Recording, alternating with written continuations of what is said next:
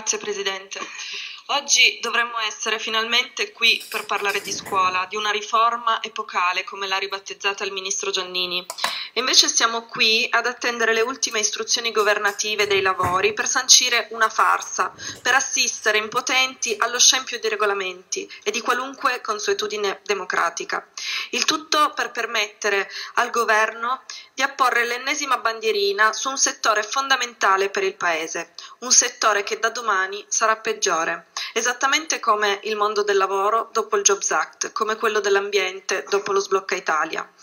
Nel merito del DDL io scenderò articolo per articolo durante l'esame del provvedimento. Ora si rende doveroso per me approfittare di questa occasione per spiegare a tutti che idea abbia di ascolto e dialogo con il Parlamento questo governo che aveva annunciato l'emanazione di un disegno di legge e non di un decreto, cito testualmente le parole del Premier Renzi, proprio perché l'esecutivo vuole dare un messaggio al Parlamento e coinvolgere le opposizioni nello spirito delle dichiarazioni del Presidente della Repubblica.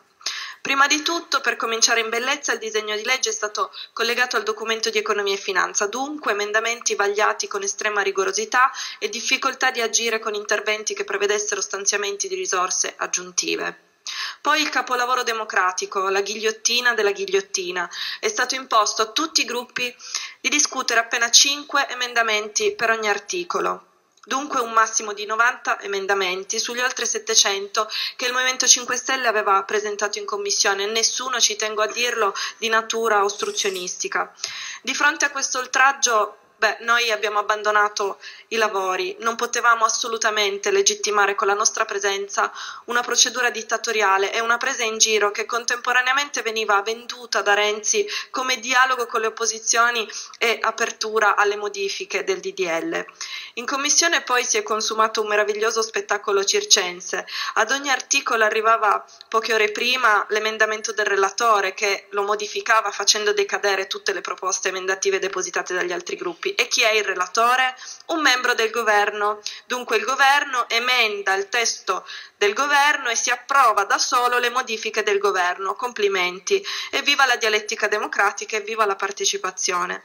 Infine, ultimo capolavoro di sadismo burocratico, il voto per l'approvazione in data certa. Dunque, a prescindere da cosa succede in aula, dal merito delle obiezioni, dal contenuto delle nostre proposte migliorative, mercoledì prossimo calerà il sipario su questo disegno di legge.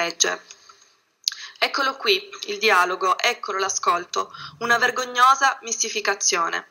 Questo governo è riuscito nel capolavoro, ha, ha, reso un testo da cui era partito per dare spazio al Parlamento ancora più blindato di un decreto di legge in scadenza. Mai si era assistito finora a tutte queste forzature, tutte insieme, per impedire che le opposizioni potessero anche solo sfiorare il testo di un DDL. Forse però, anziché studiare di notte i più improbabili stratagemmi regolamentari per, me- per mettere il, bar- il, bavaglio alle opposizioni, il governo avrebbe fatto meglio a tendere un orecchio fuori da questo palazzo, a concentrarsi su cosa è accaduto in queste ultime settimane nelle piazze.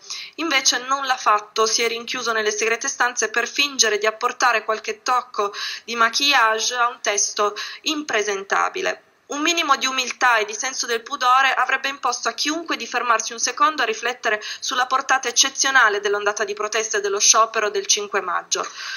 Invece nulla, perché questo governo è allergico al dibattito, così come lo è il suo Presidente del Consiglio che in risposta a una mobilitazione mai vista prima registra un monologo di 20 minuti con tanto di lavagna e gessetti.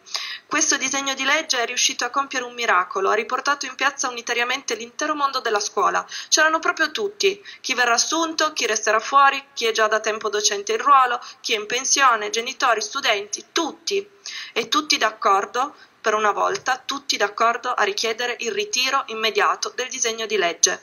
Di fronte a questa storica mobilitazione unitaria di un intero comparto cadono una a una tutte le accuse strafottenti del governo, lo fanno solo per coltivare il loro orticello, hanno paura di essere valutati. Qui si è andati ben oltre il limite consentito, ma la scuola ha gli strumenti e ha le capacità critiche per non bersi dei videomessaggi preconfezionati e delle slide ingannevoli. Noi ehm, lo potremmo chiamare il disegno di legge delle menzogne. Da quando lo scorso 3 settembre Renzi ha annunciato il dossier La buona scuola è stato tutto un susseguirsi di clamorosi annunci. Assumeremo 150.000 precari. Falso, sono 100.000. Con 100.000 assunzio- immissioni in ruolo realizzeremo comunque uno straordinario piano di assunzioni. Falso, si stanziano soldi freschi solo per 48.000 nuovi docenti, gli altri 52.000 sono a costo zero e lo certifica la relazione illustrativa della Camera. Rafforziamo l'autonomia delle scuole. Falso, si rafforza solo il potere del dirigente scolastico perché l'autonomia c'è già e basterebbe finanziare le scuole.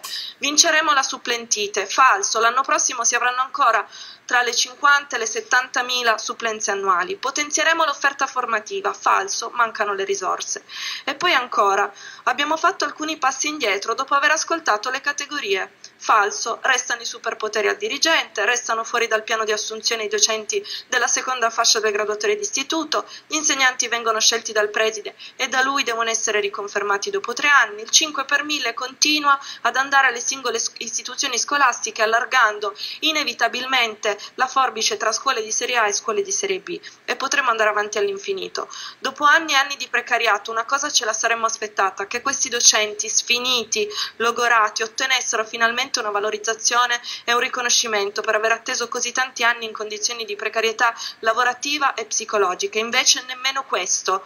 In cambio dell'assunzione saranno costretti a fare le riserve dei loro colleghi di ruolo, a fare i tappabuchi, a vedere limitata la loro libertà di insegnamento nella speranza di essere confermati dal preside a rinunciare alla loro vera e unica vocazione, l'insegnamento su cattedra. Un disegno di legge del genere non era venuto in mente nemmeno alla Gelmini, che pure vantava fino ad oggi il titolo di peggior ministro dell'istruzione della nostra storia.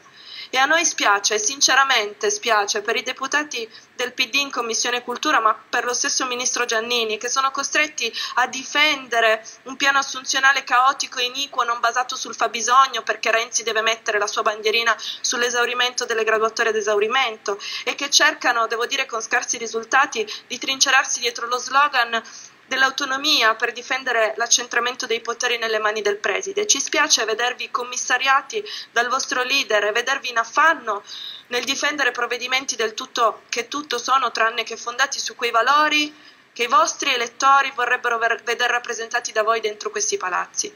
I vostri candidati regionali in molte regioni si stanno fintamente dissociando da questo DDL per non perdere voti alle prossime elezioni.